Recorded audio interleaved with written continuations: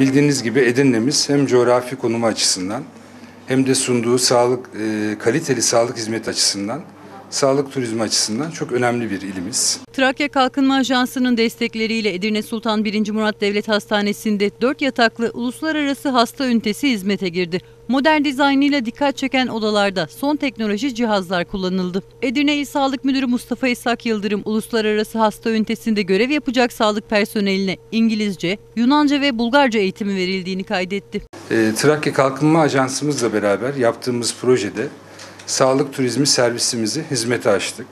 Artık projemizin de sonuna geldik. Öncelikle e, Trakya Kalkınma Ajansı e, Genel Sekreteri Mahmut Şahin Bey'e, eski İl Sağlık Müdürümüz Ali Cengiz Kalkan Bey'e teşekkürlerimi, saygı ve sevgilerimi sunuyorum. Ve bu, bu projede emeği geçen e, tüm çalışma arkadaşlarıma, şu an aramızda idareci olarak bulunan ya da bulunmayan, emeği geçen herkese çok teşekkür ediyorum. Şu an gördüğümüz servislerimiz dört yataktan oluşmakta ve uluslararası sağlık turizmi servisi olarak hastaneden ayrılmış durumda. Hastalarımızı buraya yatırıyoruz. Bu gerçekten büyük bir projeydi Edirne için Ee, ve oldukça güzel bir servise kavuştuk, servislere kavuştuk, yataklara kavuştuk. Ş- şimdi amacımız uluslararası hastalarımıza e, daha güzel bir hizmet sunabilmek, daha kaliteli bir hizmet sunabilmek. Zaten bildiğiniz gibi Edirne Sultan 1. Murat Devlet Hastanesi Türkiye'de sağlık turizm belgesini, yetkisini alan ilk devlet hastanemiz. Eğitim araştırma hastanesi olmayan, devlet hastanesi olan ilk devlet hastanemiz. Ve e, hastalarımızın da teveccühü oldukça yüksek seviyede. Bugüne kadar yaklaşık 1300'e yakın sağlık turizmi hastası, 3000'e yakın e, sa- turistin sağlığı hastasını hastanemizde misafir ettik, tedavi ettik ve memnuniyetle tekrar ülkelerine gönderdik. Bunda bu tabii ki bir ekip işi.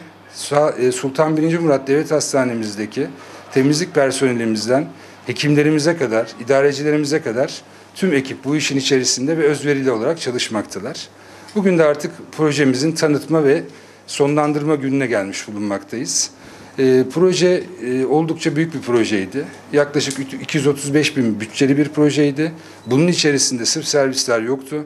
Sağlık turizminde yer alacak personelin İngilizce, Bulgarca ve Yunanca eğitimleri yapıldı.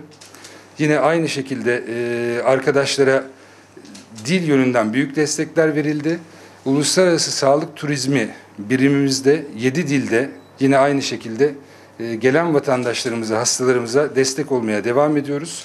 Ve yurt dışında yaşayan hem Türk kökenli hem de yabancı vatandaşlarımızı bu kaliteli ve güzel hizmetten yararlanmaları için Edirne Sultan 1. Murat Devlet Hastanesi'ni bekliyoruz. Servis dört ayrı e, yataktan oluşuyor, odadan oluşuyor. Odalarımız gördüğünüz gibi oldukça konforlu ve tekli.